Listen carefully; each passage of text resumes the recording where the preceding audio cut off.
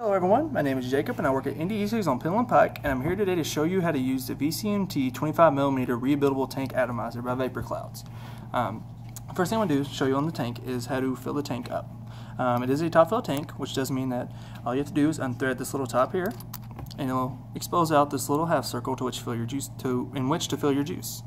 Um, so we're going to replace that now as I show you how the deck looks on this.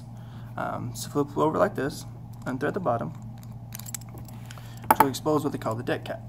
Um, simple unthread of that will expose the deck and where your coils will be.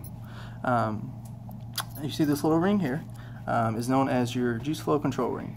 Um, adjusting this will stop the flow of juice or allow the flow of juice to go.